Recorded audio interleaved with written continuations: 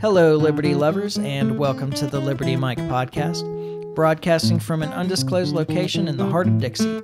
I am Michael, and I am here with Liberty Larry. How's it going? Doing all right. How are you? Pretty good. Um, I just want to point out that Liberty Larry almost scheduled us out of a podcast this week. yeah. I Got a lot on my plate, man. I don't know what to tell you. That was that was a, a weird phone call. I apologize. That's okay. He called me this morning and he said, Hey, are you like really set on recording tonight or can we record tomorrow? And I said, No, man, it's fine. We can record tomorrow. And he's like, Okay, I'm going out of town tomorrow. yeah. like after I, I like I started running through my head what I had to do tomorrow. I was like, oh, I have to leave. yeah. Which would make recording difficult. that would that would be a problem. yeah. So um So glad you so- figured it out so, before you hung up. Yeah, right. yeah, that would have been really bad. They've called you back an hour later and Yeah. been like, "Hey, wait." Or called me back tomorrow morning on your way out of town. Oh, Yeah. I forgot. We can't record tonight. I forgot I got a thing. So it definitely could have been worse, but yeah. Um, Still definitely a brain lapse on my part. yeah. that was a strange phone call. And you keep doing it to me because my phone doesn't ring that much because I just I don't have many friends. And um so I was like really intent on something at the office when the phone rang and it startled me again. It's like every time Gary calls, like I jump because I'm, you know. That's funny. I'm gonna have to start calling you more. Yeah, just if to I know it scares you every time I do it, I'm gonna do it constantly. I was I was thinking you were going to help me desensitize to the phones ringing. But well, I may. no, it make me feel important. I get phone calls all day, even if it's just from you. Even if it's the same person. Yeah. Um. Okay. Well. So, how are you feeling about Trump now? I, I mean, uh, not enthusiastic, but I'm still, I'm still happy. I'm, I'm, dude. I enjoyed the first Trump term, even though it was a mess. Okay, and, and there was plenty that didn't. That like you set your expectations low, right? Like so. I mean, I, and I came in with a pretty low expectation, but I, I, like I enjoyed the first term. I think the second term is going to be a blast too. Yeah. So- Yeah, well, and and be. the the appointments that he's making kind of confirm some of that. Like, I mean, um, I, I mean they're they're not great appointments per se, Mm-hmm. but they should be fun ones. Yeah. I don't. I don't want to spend a whole lot of time on appointments this week. That that'll be a topic for next week. Well, yeah, and once they start, like I say, once we get a little closer to, Well, uh, you know, they're still kind of like coming out day after day right now, Yeah. and they're not. They're not official technically appointments yet. Yeah. I mean, but they won't be appointments till he's actually in office. in office, yeah, Um, so, but I do think it's worthwhile to kind of talk about this. There's a there's a um, there's a strong Zionist flavor to his security appointments, yeah. Well, you knew, except for Tulsi. you you knew that was going to be the case. Yeah. I mean that's No, that, that I it didn't doesn't know come it. as a surprise. Okay, I I didn't know it. I was hoping that he would be he would look for more like non-interventionist people. I mean, I guess it's not really a surprise. Yeah, I guess I'm not surprised, I suppose, but I, I was really hoping that he would move in a less bombastic warmongery direction. yeah, Um, which Marco Rubio yeah. Rubio's a pretty rough one. is not, uh, Waltz is not, um, Yeah. whatever the Haggis, Haggis something or other, his long unpronounceable name, Yeah, also not. Um, yeah. Tulsi is DNI.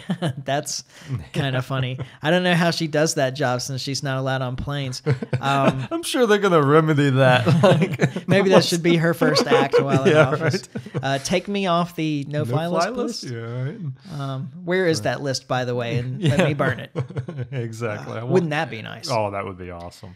Um, so I, I that actually that appointment makes me feel really good because there were rumors that he wasn't and even like based on things that he'd said that some of those people he wasn't going to give actual positions to he was going to name them as hmm. such and such a czar which isn't a job Well, title. And, it's and there just a- was you're not wrong because that some of that was floating around. But I, Trump's a loyalist type of guy. Like he's, I, I feel like he's going to really take care of the people that took care of him. yeah. Um, now, unfortunately, it's Trump, so you got to remember, like these appointments are probably all pretty short lived. Like Yeah. I don't expect these well, people yeah. to stay in his orbit for very long. now, what would be awesome is if uh, Marco Rubio left the Senate to do this job and only held it for like a month. Yeah.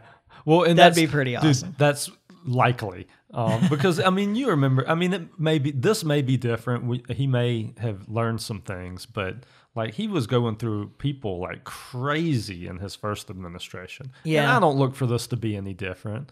Um, you know, so, so a lot of these people that we like that he's surrounding himself with right now, we probably shouldn't get too comfortable. Yeah, may not last very long. may not last. Well, it, a lot of the problem was that his initial appointments weren't terrible. Yeah. Um, they were just outside of the mainstream of politics. People like Rex Tillerson and, Tillerson, and so yeah, forth. yeah. Um, and they were eliminated by the political machine. yeah.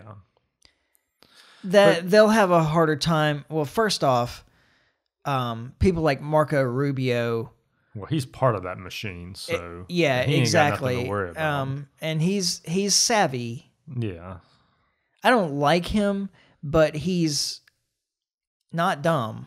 no, and I, I don't hate him though. Well, I don't hate him either, but he's he's there are worse politicians. definitely, definitely. um, that's um, kind of where he's at for me.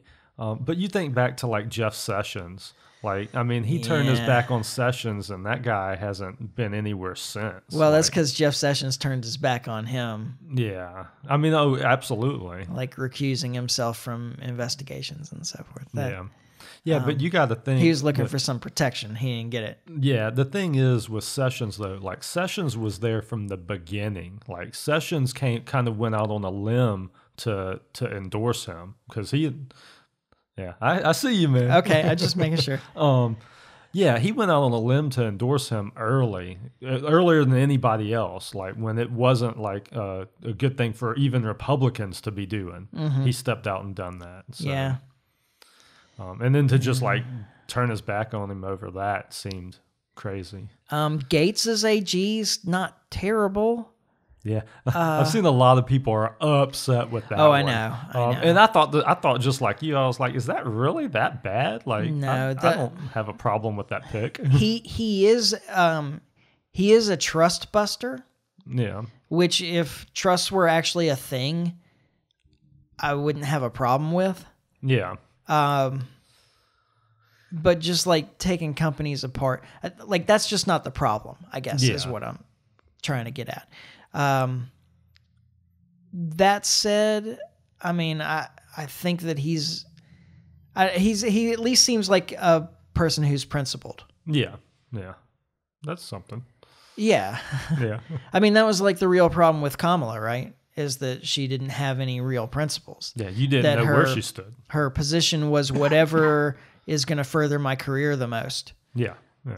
Um, and in fact, I was talking with my mom about Kamala at one point, and she was talking about all those. You, you know, actually, it wasn't just my mom. Like the media and everybody was kind of up in arms about how much Kamala's positions had changed from the time she ran for president before in the Democrat primary, and this time that she was she was the um, nominee Nominee, Yeah, and how her she was like kind of pushing a, a sort of right wing campaign, allying with the Cheneys and all that stuff. Uh, just as a side note, um, trading the Cheneys for uh, Tulsi and RFKJ, I'm perfectly fine with in Yeah. terms of like party swaps. Oh, absolutely. yeah, if this was like a draft or something, like Yeah. I'm drafting the Tulsi and yeah, absolutely. Um, But um, you know, while her when she was running in the primaries, she was pushing like this very progressive agenda. yeah, and people were trying to get her to explain the difference.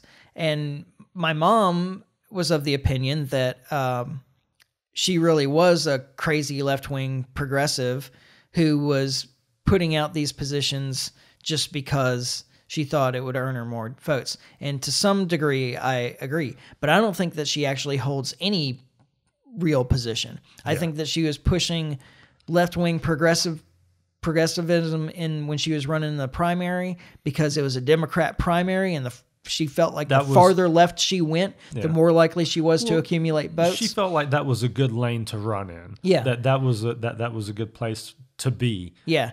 I want to be just right of Bernie Sanders um, because I'm still part of the core. Yeah. Yeah. Yeah. Um, and then when she was running in for everybody's vote, uh, she's she assumed that you know the Democrats she'll get their vote because she has a D next to her name, and maybe she can pull some of the more right leaning or anti Trumpers or whatever by pushing kind of a right wing position. I don't think she actually holds any of those positions, or maybe even any position at all. yeah. She's like the emptiest of empty suits, as far as I'm concerned. It was amazing too because a good politician would be able to walk away from some of the like to take that 2019 2020 campaign Mm-hmm. and like like find the way to answer the questions and at least kind of save face a little bit and she was incapable of doing that at all Yeah. like she just you put a camera in front of her with that those type of questions she just folds yeah, um i mean she, she's just not good at it she's just not a good politician yeah. You know, I mean, say with that what you will. Like I say, I mean, that maybe, I mean, I don't like politicians. So the fact that, you know, she's not a good one should be a feather in her cap, but it's not. Like, yeah.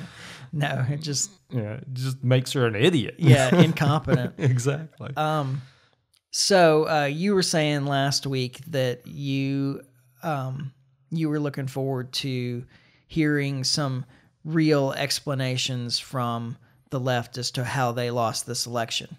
yeah. Are you hearing that? Not a whole lot. like, I, the, the soul searching ain't going well. Yeah. Put it that way. Well, I want to I want to play a clip for you All right. because I got a I got a real kick out of this one. I think you'll You like. got a this. doozy for Oh us? yeah. yeah. All right. Um, this guy is a, uh, a a black man Princeton professor. Goad, I think, like G A U D E, I think is his last name. Anyway, this was on MSNBC.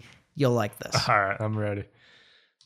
there's this sense, right, that whiteness, right, is under threat. The demographic shifts. The country isn't what all of these racially ambiguous children on Cheerios commercials are confusing the hell out of me. Eddie, a lot of people voted because their life's too damn expensive, and it and it was here, and it They voted for. You're telling me, Stephanie, that all of these people who believe that their lives are that bread is too high and eggs are too high, that they voted for a convicted felon, a guy who said we can grab the pea. I think that a lot. They of people- voted for I- this listen, guy. I'm not defending it, but I think there are tons of people that don't pay attention to, and I'm not defending it. Don't pay attention to politics at all. But we, while we live in the most prosperous country in the world, people are saying life's not fair. I'm not doing well. My son's still living in the basement. I can't seem to get a job. I don't like the status quo. I'm voting for something else, and he. I person. love you to life, I love you- oh. but I do not believe that.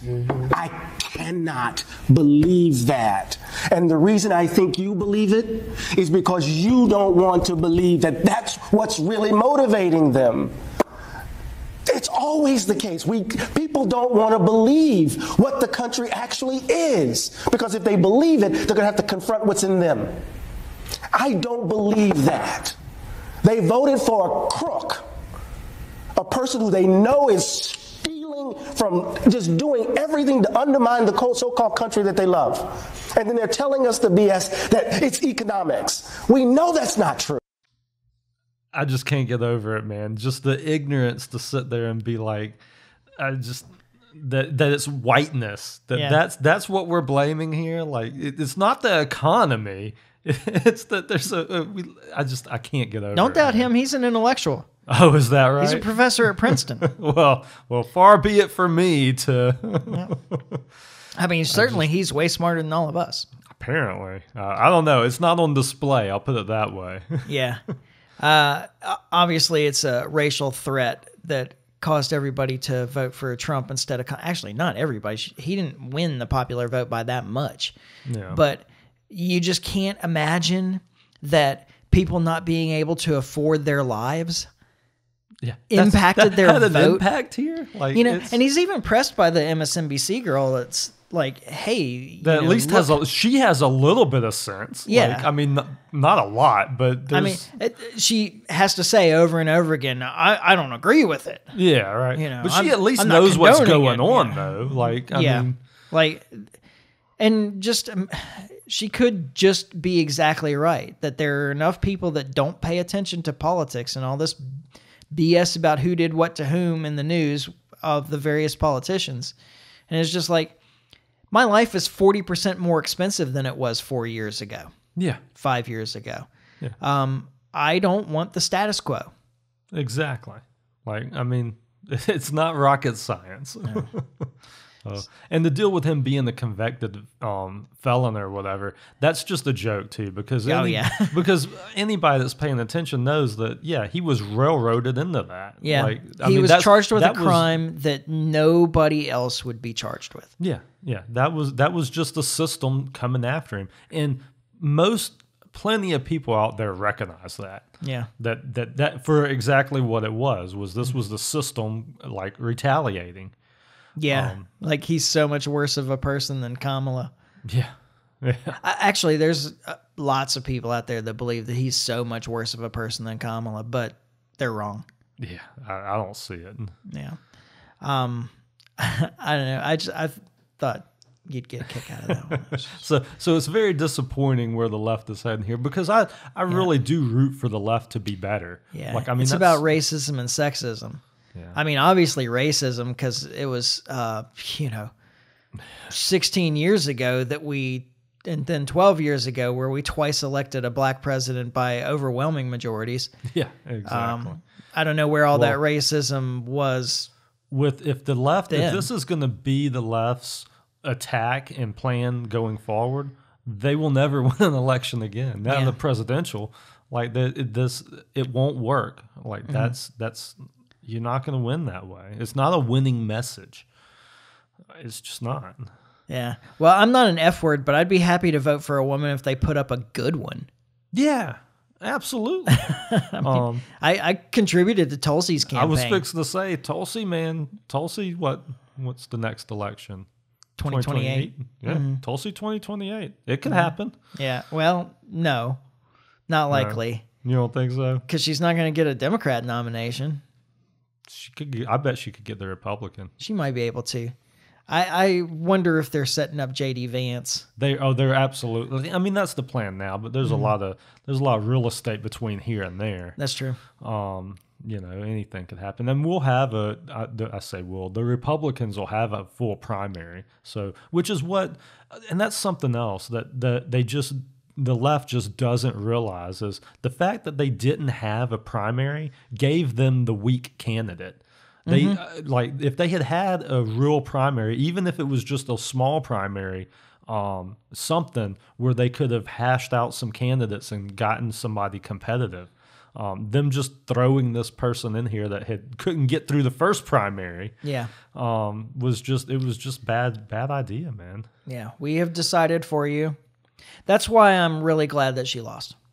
Uh, You know, as I talked about last that's- time, is that that sets a really terrible precedent in this country that already has a little problem with um, the candidates being decided for us, really, anyway. Yeah, is if they were able to do it that blatantly and get away with it and actually get her elected, that would have been really, oh yeah, um, really terrible for the future here. Yeah. Well, um, and and the hope is is like I was saying before is that the left will take from this and build on it and become a better party. Which if mm-hmm. they would lean into the anti-war, I mean that's where their base is at anyway. Mm-hmm. Um, we could make the country better. Yeah, I'm. I don't know their base is there anymore. Well, I mean, I, I've talked to so so many longtime Democrats and left wingers that are just all about fighting Russia Yeah. Now because you know he Putin elected Donald Trump and Putin is worse than Hitler and Yeah. so is Donald Trump. yeah. Well, that's just people that's fallen for the propaganda. Yeah, but it's that's my point is that it's been really effective. Yeah. Um, man, talk about just effective propaganda. I had a customer come up to me today in a mask trying to talk to me, and I just, man, all I could think the whole time I'm talking to this woman is like, man, like you have just like drank the Kool Aid, Yeah.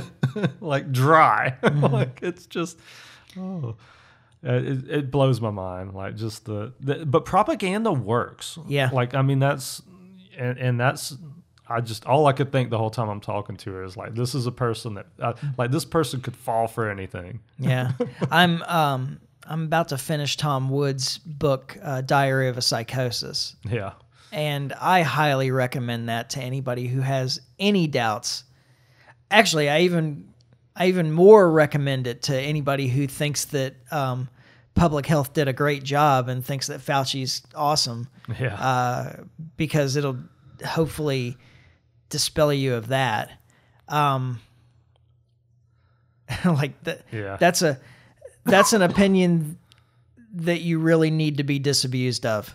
yeah. Yeah. Um, and this will do it because Yeah. it, it's contemporaneous. Yeah. It's you know he's writing he he assembled newsletters that he was writing throughout COVID, while these public health officials are making these claims about one thing, but the data doesn't support it. But it's just not there. Um, yeah. And it's even more powerful when you see all the claims that were made because a lot of that stuff you've forgotten, I promise. Like, even Oh, those yeah. of us that were like tracking all that stuff at the time.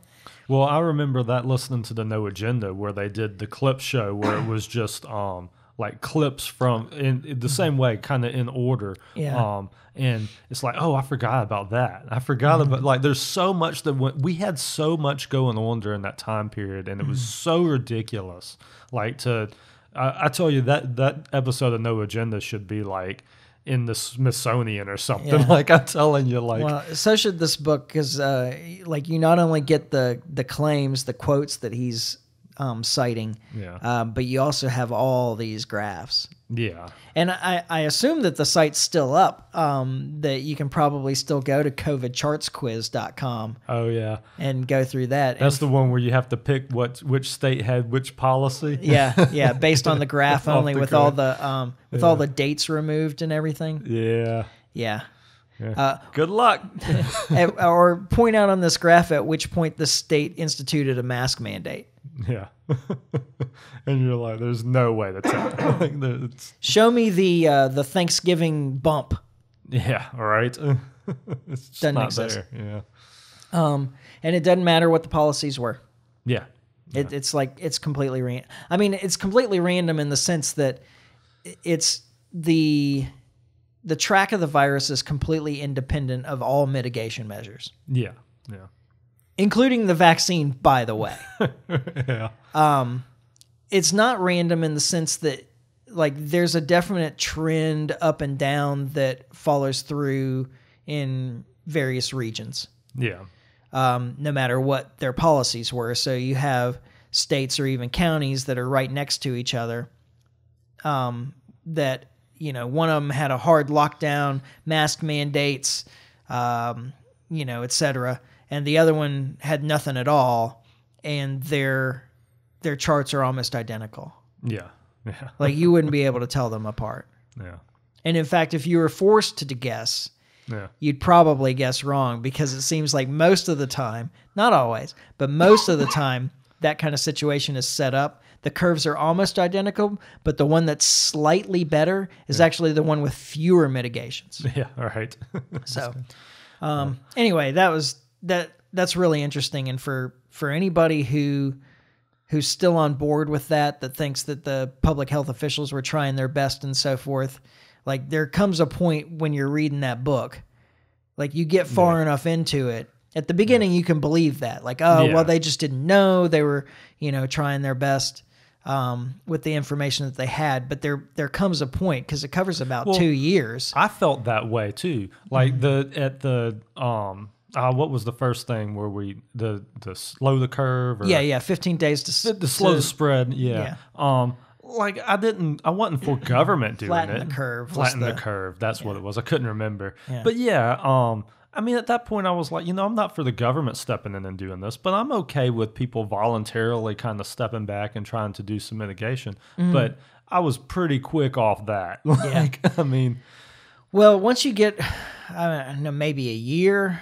maybe less Yeah. into this thing in this book, you start to realize like, no, they have to know better This at this is- point. this is intentional. and they're still yeah Yeah, they've Um, gotten a taste of power and they want to exercise it. Yeah, and I was reading uh, Duesberg's book about the creation of the the AIDS virus, the invention of the AIDS virus, I think is what it was called. Yeah, Um, and uh, he's talking about um, a, a point at which it became pretty clear that the that the predicted uh, heterosexual epidemic that was supposed to happen in the 80s and early 90s didn't. Um, that AIDS remained confined in the original risk groups, which is mostly drug users yeah, Um, and uh, like intravenous drug users or um, uh, people in the homosexual community that were using the nitrates, yeah. like amyl nitrate and stuff. So, which is really toxic. and uh, so then, like some major paper, and I can't remember which one now, uh, came out with an article saying, "Hey, we can kind of relax a little bit here." Um, it looks like uh, the HIV virus isn't as infectious as we thought. Um, it hasn't exploded like it was expected. Um, you know, it, it remains confined to the original risk groups. If you're outside of those risk groups, you can chill yeah. and um and there were eh, you know memos from the public health department saying no what did you just do you've ruined everything like we're controlling i mean they didn't say it exactly like this but it's it essentially said we're controlling these people's behavior in a direction that we want through fear and you just took away that fear Right? You can't do that to us. oh, it's crazy. and so you have the same thing during covid Yeah. One more thing I want to say about um, since we're on the COVID subject. Yeah. So I um we'll definitely come back to this one regularly well but and but this is kind of the reason the reason I want to mention it is the Mm-hmm. fact that we will come back to this regularly, and the reason is so. What what brings it up is I shared a meme on the page this week and Mm-hmm. shared it to some groups, and I got one comment in particular just kind of really stuck in my craw. That one of the first comments on when I shared it to one of the groups was that beating a dead horse again, and I was like, all I could think is like, yeah, this is a horse worth beating. yeah Like and I i'm just, not convinced it's dead well that well that's part of the point is like I, I it just really shocked me that somebody would be like well like it's and it's almost like that they know that they got the person is like he knows that he got it wrong during that time and doesn't want to mm-hmm. keep hearing about it but the point is is yeah you may have got it wrong but this is still a battle worth fighting Yeah. like this is not so, this is not something to just be forgotten about and pushed aside as like it can't happen again because it Yeah. absolutely can that's what I was about to say. They'll probably try and sell us a dead horse again. Yes, exactly. And the more we we speak out against this, even now when it's not really a threat because it's they're not there's no thing out there looming over us right now. Yeah. But Trump isn't back in office again, Mm-hmm. and this happened under his watch. Whether it was, I'm not saying it's his fault. I'm just saying Yeah. that the machine put this up on us in in his term, first term. Yeah. Like I say, I mean, we need to be vigilant. Well, I mean, there was some indication not that long ago that they were trying to push bird flu. They were.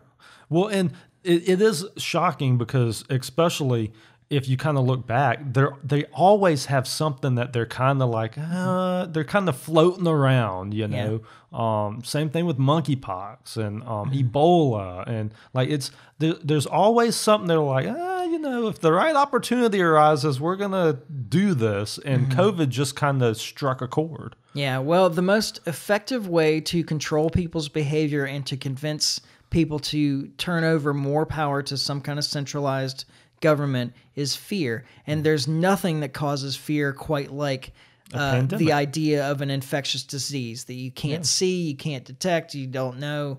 Yeah. You know, um, it- it's it's more effective than terrorism. Yeah, yeah, absolutely.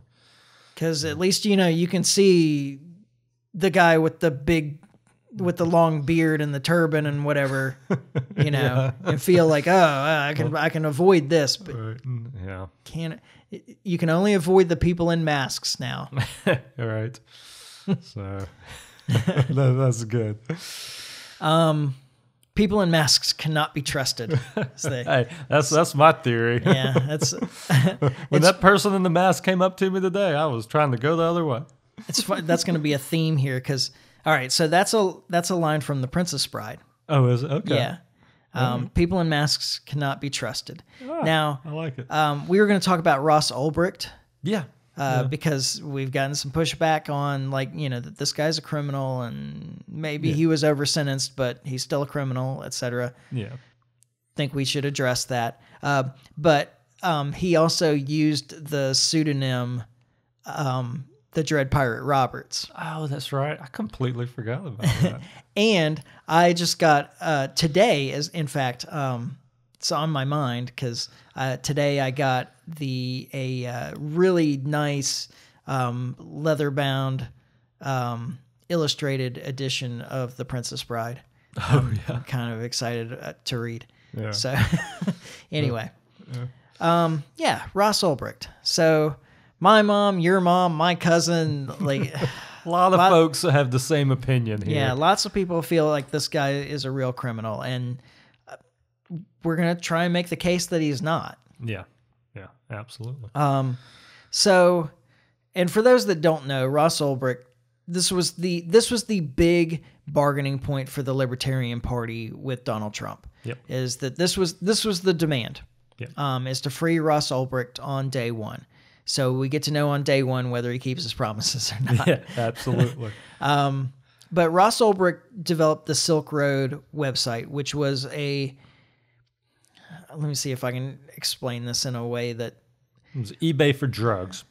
It's not even. I mean that that kind of what Kinda. it turned into. It, it was a dark web. It was a platform facilitating anonymous and insured voluntary exchanges.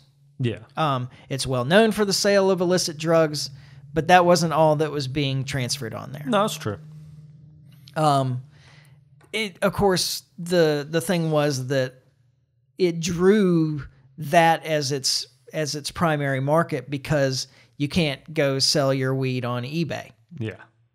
But yeah, I mean it's essentially it's essentially an eBay except that the users are anonymized. Um, using uh, Bitcoin or other cryptocurrency. I think that one was Bitcoin only, but um, you're using Bitcoin to make the transfers. The transfers are being held in escrow until the product or uh, whatever it was is received. At least in certain cases, I don't know if it was every transfer, but um, yeah. I mean, that was the idea, I think. yeah. Um, and that's how Ross made his money is that, you know, you hold the transferred money in escrow, you take a cut from there. Um, and, you know, that's how you support the website. Yeah. So, but really, it was just a, at its core, it was a platform to facilitate anonymous voluntary exchanges between people. Yeah. Yeah. Nothing illegal about that. And and actually, if you're if, there's anything illegal, it would be the people buying and selling that Yeah. were that I were mean- committing the crime. Right. Like, I mean, even Well- if you're gonna go, I'm gonna I'm gonna dispute the w- use of the word crime, but yes, they were they were um, engaging in the illegal activity. okay, I'll that's- grant yeah, that. Okay, Um, yeah. The people that were actually doing the exchanges were engaging in the illegal activity. yeah, There have been insinuations that he was involved in uh, contract murder uh, and so forth. That's mostly. I don't know. I, I, the evidence for that doesn't seem real strong to me. I think weak. that this was, you know, one of those things that the government was putting out about him to make him seem like a worse guy yeah, um, than he was, uh, is. yeah. And then the guy was given two, was it two consecutive life sentences, Yep. of which he served like 10 years so far, I think, Yeah. For this, for creating a really useful platform for people to exchange products. Yeah. It's like any of the anything illegal sold on it, it's like imprisoning Jeff Bezos for anything illegal sold on Amazon. Yeah. Well, and but a lot of people will say that well, it's it's Bezos' uh, job to to make sure that doesn't happen. Yeah. Um, which I disagree with, but that's that's the argument from Mm-hmm. the other side is well, he's responsible for what happens on his platform. Yeah. Um, which is the same argument they make to Twitter and Facebook when they don't censor the way they're supposed to. Is well, it's their job to to control their platform and to control speech on their platform, which I also think is garbage. Yeah. I, oh, I agree. Um, and you know there is some evidence. I know that the the mainstream would dispute, but there is evidence that there there is like child trafficking going on on eBay. Um, and remember the whole uh, Wayfair yes. thing years ago, which has been in the mainstream debunked, but I'm not convinced. Yeah. I mean, I, yes, There's some strong- shady stuff Yeah. going on there. there's some evidence that that you know that was going on. You know, when people are selling a pillow that sells for ten bucks for ten thousand with a a name attached to it. Yeah. Um, now, I, as far as I know, or at least the from the mainstream reporting, like none of that actually panned out. yeah. But it seems sketchy. But they also don't provide, at least in mainstream reporting I looked at, they don't provide an explanation of what was happening, exactly. which I find interesting. They're just really Well, intent best- on telling you what wasn't happening. The best, the best I heard was that they were trying to claim that those were glitches. Yeah. that it was a that, that, Oh, it's those- always a glitch. that- yeah, that those prices weren't actually correct, and it was just a system glitch. Mm-hmm. But then that seems even sketchier to me. Yeah. like now it just feels like you're covering something up. Yeah. Strange, strange. So- So, um, you know, the other part of that, and this is why I, I will grant illegal activity, but I won't grant crime. Okay. Oh, you know, you ought to pull the. Somebody responded to my cousin, um, and uh, gave a Lord Chesterton quote that was that was solid. Now, like my source for my position on this is uh, Lysander Spooner, because if you've listened to the podcast for any length of time, you know I'm a big fan of this guy. He was writing in the mid 19th century, and um, he has a now at the time he was writing about the temperance movement, the the movement to ban alcohol.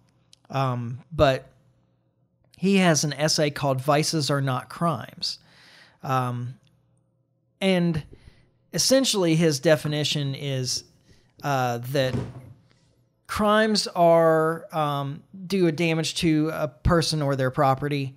Um, vices uh, don't do damage to another person's person or property Yeah. um, the and the vices and well, crimes always are crimes, but vices and virtues and the way he's defining those is you know vices is something that tends to um, increase your happiness. Of vir- or, sorry, I have that backwards. Virtue is something that tends to increase your happiness. Vice is something that tends to um, reduce your happiness.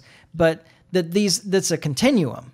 Yeah. So first off, people are all different. So what may increase your happiness may not increase mine. What may be a vice to me may be a virtue to you, etc. Yeah. Um, and the the degree matters. Now, degree doesn't matter in a crime. I mean, it matters in in the sense of how like how steep a crime it is. But it's a crime at whatever level. It's a crime to steal a dollar just as much as it is a crime to steal a million dollars. yeah. Um, whereas uh, it may be a vice to have 10 drinks a day, but not one. Yeah. you know, Yeah. Exactly. drinking at a wedding, having a drink or two at a wedding is not a, a vice necessarily, having 30 is. yeah. Yeah. um, and that may be different from person to person too. Absolutely. So um, this, uh, let's see, Jeremy Allen was the person's name. Uh, I, I I did enjoy this quote. Oh, dang it! I gotta click a button on your phone here. See more. See more. I can't see more. Why can't I see more? Do you know? Oh, there we go. Okay. Phone's too complicated for me. Man. Sorry. This is uh yeah, like I said, this is a quote from Gilbert Chesterton. Maybe not Lord Chesterton. Um, the free man owns himself. He can damage himself with either eating or drinking. He can ruin himself with gambling. If he does, he is certainly a damn fool, and he might possibly be a damned soul. But if he may not, he is not a free man any more than a dog. Very solid. Yeah. Solid content right there. the uh, the argument uh, from Lysander Spooner is that uh, it, it's vices the ability to um, exercise vices is about owning yourself, property rights, pursuit of happiness. Um, and so essentially, and, and he also has this, it's actually from this essay. One of my favorite quotes of Lysander Spooner's is uh, No man wishes to be um, regulated either in his person or his property against himself, protected in either his person or his property against himself. Absolutely. Like so if I should be allowed to dispose of my property in whatever means I see fit. It's my property. Yeah. And if I can't make those choices, then I'm not free and it doesn't belong to me. yeah. Right? So if I want to waste my money on drinks or drugs or gambling or whatever, that's my business. And if it gets out of control, it can become it can lead to crime, but it is not in itself a crime. Whatever act is doing harm to others is a crime. Yes. But it's a crime eh, whether there was alcohol or drugs or whatever else involved or not. Exactly. The the alcohol, drugs or whatever led to it is not in itself a crime. It's just bad decisions. Exactly. So know um so you know like the difference being you know it's it's the pursuit of happiness idea i think is what you should really stick to with this yeah. uh, is that um i should be able to choose whatever path to happiness i think is most fit for me Yeah. and i should be able to dispose of my property or or damage myself as much as i want in that pursuit and in fact that's part of what we fought for Right. back in 1776 Absolutely. um, is to make those choices. And if any government or any other individual, like they may be able to lead me by their example or try and push me away from something because it didn't work for them. But what didn't work for them may still work for me. And I need to be free. The only way I'll know is if I'm free to experiment for myself. exactly. So So that's why we don't think that that all these vices, uh, such as drug use, um, alcohol use, uh, promiscuous sex, whatever it happens to be, yeah. Are crimes. Yeah. Free people get to do what they want. Yeah, free people can choose their own path to happiness. Yeah. And the only way that they they can possibly know what the appropriate path to their happiness is is by given the freedom to experiment for themselves of what works best for them. Because the answer is not universal. Yeah. And going back to Ross here, um, I mean, many think he's a hero for creating that website Yeah. because that gave people an avenue to get things without having to worry about being shot or in in some kind of dangerous situation. Mm. Yeah, instead of a uh, back alley drug deal, Yeah. they had a perfectly safe exchange. Exactly. And here's something else to think about. Like we think about this in terms of illicit drugs, like in terms of things like heroin or uh, marijuana or cocaine or whatever. Yeah.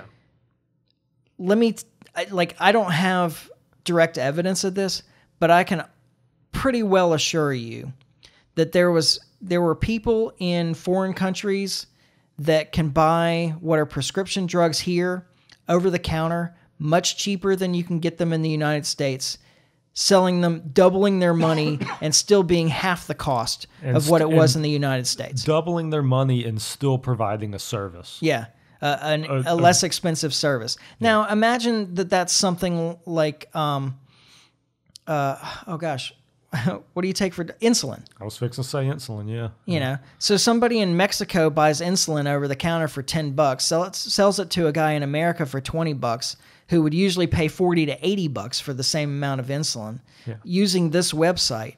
Now, who's going to complain about that? Where do you think the impetus to actually like capture this guy and put him in prison and and shut down the site came from?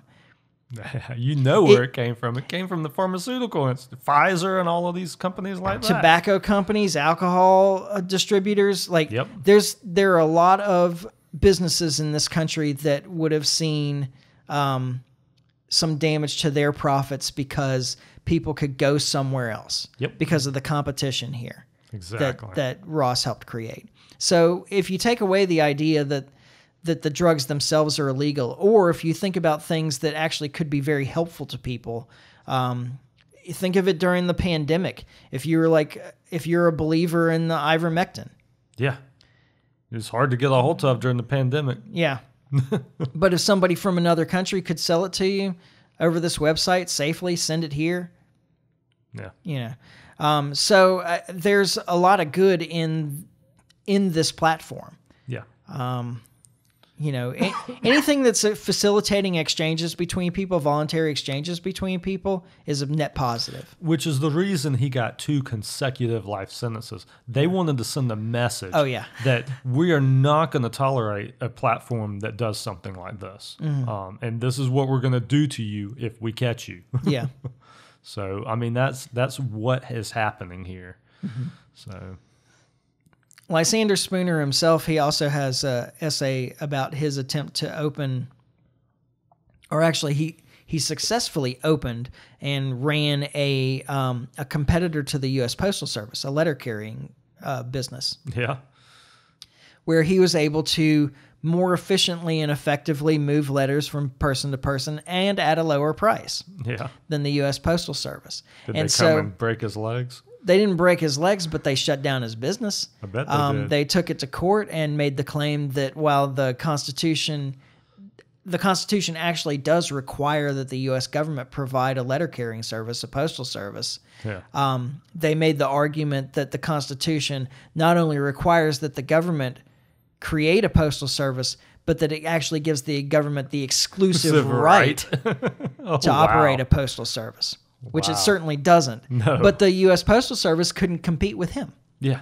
Yeah. So With his business. So they just took him out. Yep. Wild. So um, I suspect that it was that kind of thing that brought down Ross Ulbricht. It Yeah. wasn't because they were concerned about people's, you know, moral health or physical health or anything like that. They were concerned about a few interest groups' financial health. Yep. Exactly. Um, so did I make a case? I feel pretty good about it, but I was already on board. well, yeah, that sometimes a problem. Yeah.